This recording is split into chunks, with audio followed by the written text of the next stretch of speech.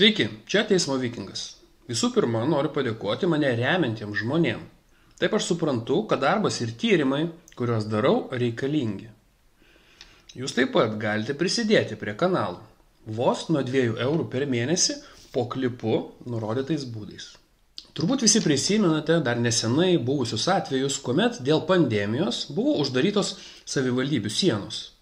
Visur su kaukiam buvome, būriavomės tik šeimos ūkiuose.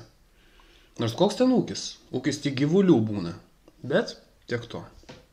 Noriu Jums parodyti vieną vyriausybės oficialų pranešimą. Jis buvo paskelbtas šių metų vasario 24. Šiandien vyriausybė nusprendė pratesti karantiną iki kovo 31. Judėjimo ribojimas tarp šalies savivaldybių pratestas iki kovo 15. Ministrų kabinetas trečiadienį taip pat pritarė siūlymui atsisakyti privalomo kaukių dėvėjimo atvirose erdvėse, kai šalia dviejų metrų atstumu nėra kitų asmenų, išskyrus šeimos narius. Kaukių dėvėjimas viešosiuose uždarose erdvėse nesikeičia. Kaip matote ir manau prisimenate, viskas buvo tragiškai piešiama ir baisiai baudžiama. Pavyzdžiui, 2020 gegužės mėnesį Lietuvos rytas rašė, be kaukės miške bėgiodama šakietė, snieguolė, gavo 250 eurų baudą. Yra ir kitas straipsnis. Nusmukus kaukiai, policijos dovana pensininkiai 250 eurų bauda. Kur trumpai parašyta, kad į mišką su šuniu einančiai moteriai pasilenkus paleisti šunį, kaukė nusmuko. Prisistatė pareigūnai, pamatė ir įteikė baudą. Beje, apie policijos pareigūnus grubiai pažeidusius tuos pačius įstatymus, aš jau rodžiau. Trumpam prisiminkime. Čia dar vieną mažą žinutę noriu parodyti. Štai policijos departamento rugsėjo 16 pranešime rašoma. Geriausiai šių metų policijos pareigūnais tapo Marijam Poliečiai. Ir žemiau nuotrauka, kur, kaip įsivaizduoju, gamtoje susėdė visi pareigūnai saugiu atstumu, nes be kaukių klausosi pranešėjo. Lyg ir nieko blogo. Bet gal tuomet generalinį komisarę Požėlą paaiškinsite, kodėl vėliau prizų įteikimo ceremonijoje visi stovite nesaugių atstumų, be kaukių ir didelėme susibūrime, ne su šeimos nariais. Ar visgi pareigūnams, kurie rungtiniavo, kas geriau įstatymų žino, karantino tvarkos žinoti nereikia? Ar pareigūnai, kurie baudas išrašinėja paprastiems žmonėms, savų nebaudžia ir reikalavimų nekelia? Gal Lietuva yra lygus ir lygesni? Paskaitykime oficialų vyriausybės korona viruso svetainės puslapį koronastop.lt apie kaukių dėvėjimą. Veido kaukės nuo šių metų rūpiučio 21 yra privalomos kultūros pramogų bei kitose renginiuose ir susibūrimuose organizuojamuose tiek atvirose, tiek uždarose erdvėse. Kaukės neprivalomos atlikėjams. Taigi, ponas genkomisarė, rugsėjo pradžioje organizavote geriausio policijos pareigūno konkursą ir užfiksavote visus pažeidėjus. Aš jos dar kartą parodžiau tūkstantiniai auditorijai. Baudos bus? Įstatymą pažeidėte? Ką į tai pasakysite buvęs komisarės Sauliaus Kvernelį? Savus pasmerksite Ar varnas varnui akies nekerta? Na, kaip matote, vieniems įstatymas galioja, kitiems ne. Bet dabar noriu parodyti trumpą, pagreitintą klipą iš Lietuvos Respublikos Seimo konferencijų salės, kur Emanuelis Zingeris su Vytautu Landsbergiu padarė konferenciją 30 metų Danijos karalystės ir Lietuvos atkurtiems santykiams. Tik priminsiu, kad tai diena po to, kai vyriausybė oficialiai paskelbė, kad karantinas pratesiamas. Savivaldybės uždarytos dėl masinių susirgymų. Manau, garsas nebūtinas. Jūs ir taip suprasite, kas vyksta karantino metu.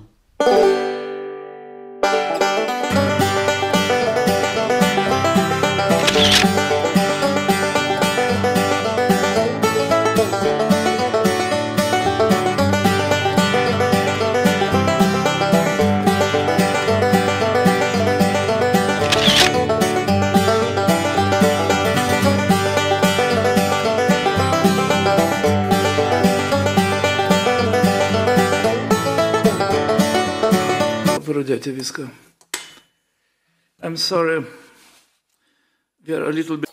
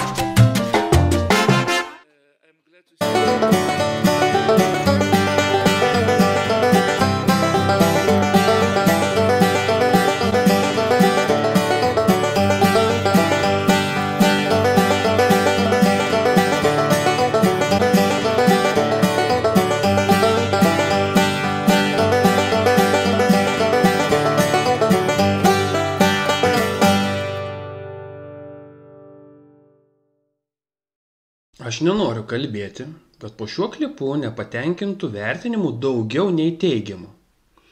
Aš nekalbėsiu, kokie komentarai buvo po klipu. Štai juos matote dabar ekrane. Jie tikrai žiaurūs. Nepritariu patyčiom, kad ir kaip nepatinka žmogus, tačiau taip reikštis nėra gražu. Deja, internetas pilnas tokių vertinimų. Ir kaip matote, Lietuvos Respublikos Seimo oficialiame puslapyje jie palikti. Žinia, kad komentarus galima šalinti, bet šitie palikti. Man šiaip įdomu, kodėl YouTube kanalo administratorius neištrynė jų. Ar tai liberalumo viršūnė, ar tiesiog nori parodyti, kad čia viskas gerai. Bet ok, keliaukime prie ką tik matyto klipo. Manau, jau supratote, kas buvo pažeista.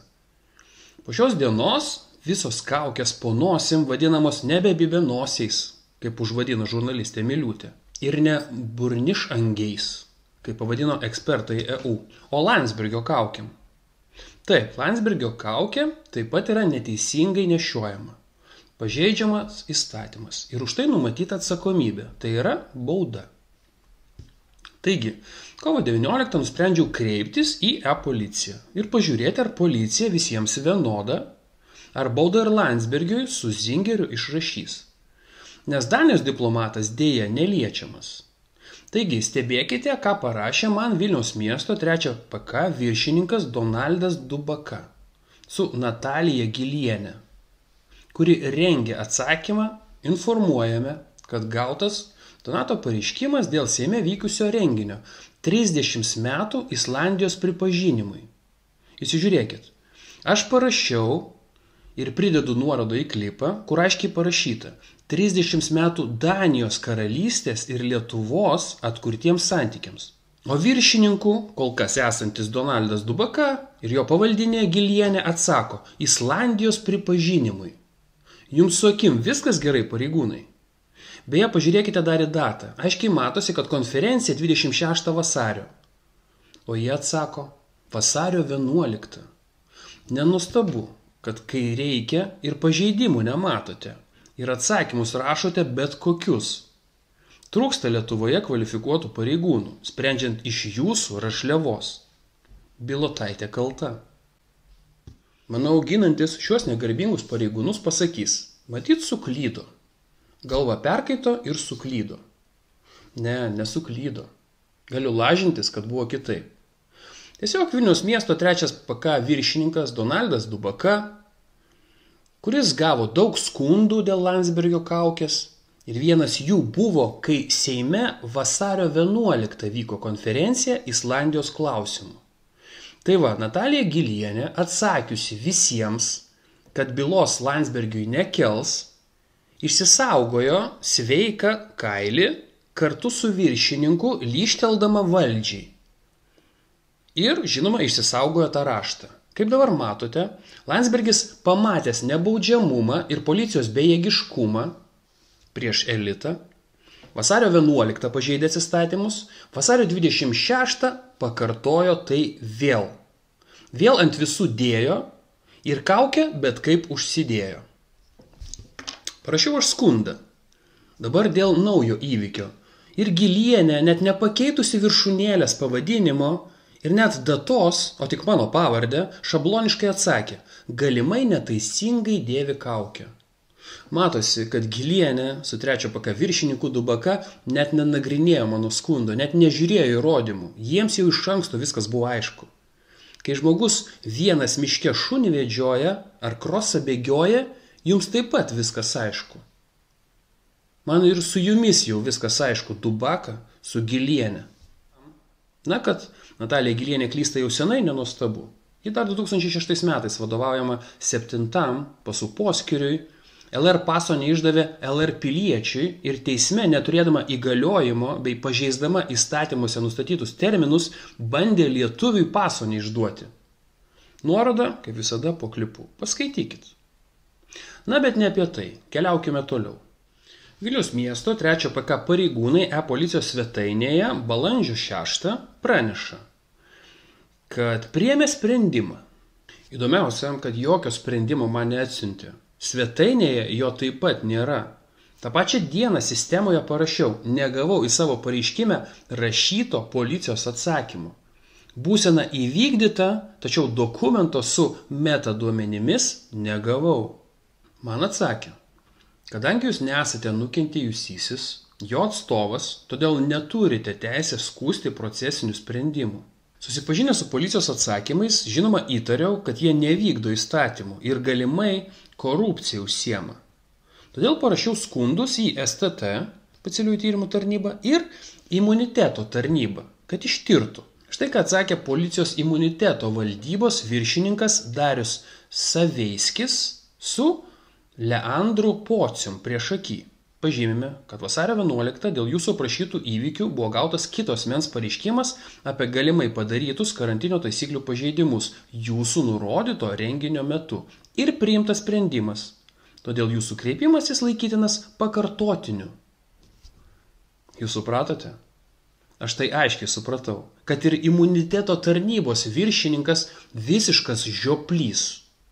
Renginys aiškiai pareiškime ir pridėtuose dokumentuose matosi vasario 26, o jis įsiblaškelis kartu su savo pavaldiniu, vadinasi žioplys kvadratu, rašo dėl vasario 11 jūsų aprašytų įvykių. Ar dabar dariau saveiski, matai, kad esi ne savo kėdėjai? Ar matai, kad Zingeris su Landsbergiu nusivalė į tave kojas? Kągi, keliaukime į STT atsakymą.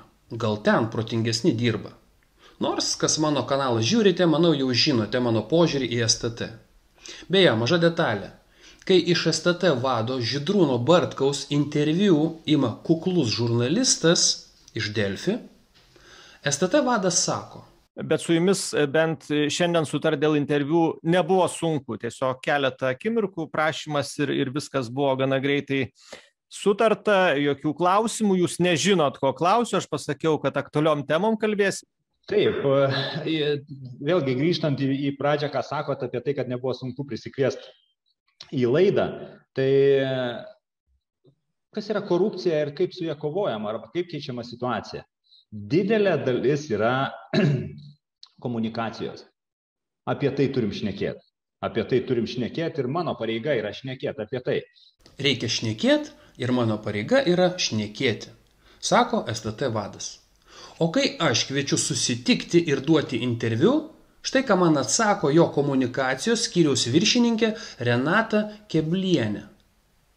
Labadiena, dėkojame, kad kreipėtės į STT. Prašome pateikti jūs dominančius klausimus, į kuriuos atsakytume raštu. Klipui daugiau kaip du mėnesiai, o peržiūrų vos 700. Tikriausiai suprantate, apie ką aš. Na, bet grįžkime prie STT atsakymo. Pranešame, kad jūsų prašyme keliami klausimai sėtini su proceso veiksmų ir sprendimų administracinėse bylose vertinimu. Faktinių duomenų apie korupciją ar kitokio pobūdžio nusikalstamą veiką nepateikta. Todėl atlikti tyrimą pagal STT kompetenciją nėra teisinio pagrindo. Supratau. Vadinasi, vienus bausti, o į kitus nekreipti dėmesio nebėra korupcija. Tai policininkai paleidžiantis girtus teisėjus, politikus ar visuomenės veikėjus ir baudžiantis eilinius žmonės yra teisingi. Vadinasi, čia korupcijos nėra. Vadinasi, atgrubnagis trečio PK viršininkas Dubaka su Natalija Gilienė administracinių nusižengimų protokolus nagrinėdami ir galimai tyčia klysdami baudas skirdami ne korupcija užsiminėja. Vieniems geri būdami ir karjeros laiptais kildami, priesaiką pažeisdami, nenusižengia įstatymams? Jei jūs STT skyriaus viršininkė Mikai Bukauskai ir Rolandai Olšauskai taip suprantate savo svetainėje skelbiamus prioritetus, skatinant viešojo sektoriaus subjektų atsakomybę, tik sėkmės jums linkiu. Neveltui vadinuosi teismo vikingas. Suprasdamas, kas vyksta, nutariau kreiptis į teismą. Man labai knietėjo, ar teisėja neišsigas garsių pavardžių, ar teisingumą dar galima rasti teismuose, Ar kaip rašoma Konstitucijoje, prieš įstatymą visi lygus. Žinoma, tai bus ir gera pamoka teisės studentams bei visuomeniai. Todėl padalinau šitą klipą į dvi dalis. Antroje parodysiu teismo kelius ir klystkelius. Bet pradžiai patreonams. Klausimas, manau, vienas jums kilo. O kodėl tik dabar paviešinau? Atsakymas paprastas. Bilinėjausi ir į teismą padavinėjau, ėjau iki galo ir norėjau visas instancijas paviešinti, kurios prisideda prie tokio teisingumo. Ir va, kuomet gavau paskutinį atsakymą, jį paviešinau. Jums žiūrovai spręsti, ar čia visos instancijos padarė, ką galėjo. Ar policijos pareigūnai, teismas, STT pareigūnai yra sažiningai savo pareigas atliekantis, ar jie tik uniformos ir mundūro pakaba. Aš asmeniškai mano išvardintais asmenimis nepasitikiu ir nenoriu su jais turėti reikalų. Geriausiai įvykusią situaciją, manau, pavaizdavo vienas mano mylimas komikas - Demis Karibidis. Kaip policijos komisariato viršininkas Donaldas Dubaka ir jo pavaldinė Natalija Gilienė tarnauja, o tiksliau švelniai patarnauja Emanueliui Zingeriui, tą daro žinoma ir policijos imuniteto valdybos viršininkas Darius Saveiskis su Leandru Pocium bei STT skyriaus viršininkas Mikas Bukauskas su Rolandu Olšausku.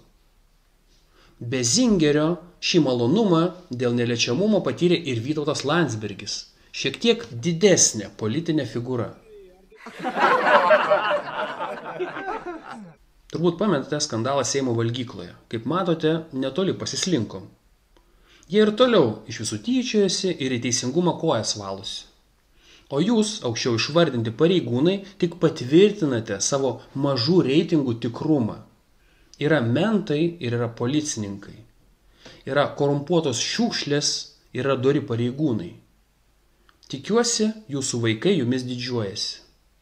Dėkoju mane remiantiems, kuriems transliuoju ir pateikiau daugiau informacijos nei čia viešai. Jūs taip pat galite mane paremti nuo 2 eurų per mėnesį po klipu nurodytais būdais. Ačiū uždėmesi.